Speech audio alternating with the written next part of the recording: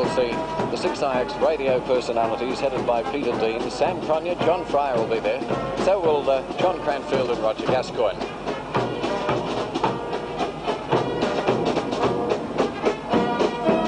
It's easy to pick out Peter Dean. He's, he's the con.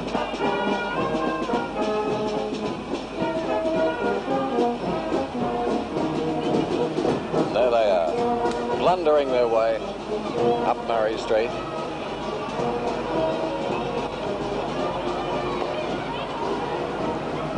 The bikes might be easy to ride, but I don't think this one would.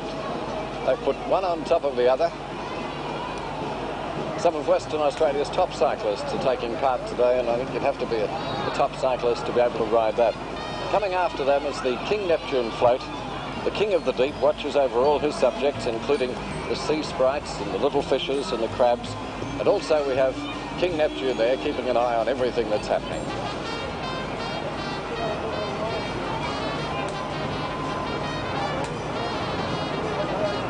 And now we've even got a clown in a grass skirt being chased, would you believe, by one who's pushing a lawnmower. I don't know what'll happen if they catch one another.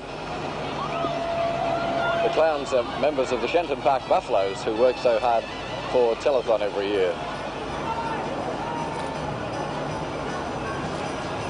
And then come the showgirls. A troop of 20 young ladies as they'd appear on the showboats that plied up and down the rivers in America so long ago. Black tights and their fishnet stockings. These girls are all done up as can-can girls. And coming then is the showboat float, and this is the colourful paddle steamer, the official flagships, so we're told, of the Loyal Swan Bathtub Society. There's all the kids, very gaily dressed again, with the captain up at the wheel.